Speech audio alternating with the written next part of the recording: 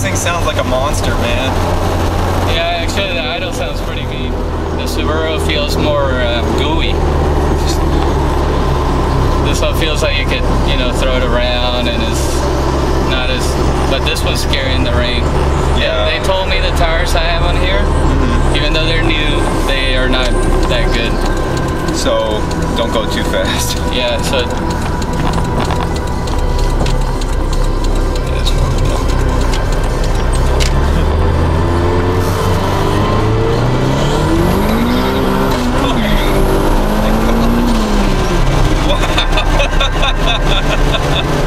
this thing was like smoking. The tires aren't even like, and there You saw how big those tires.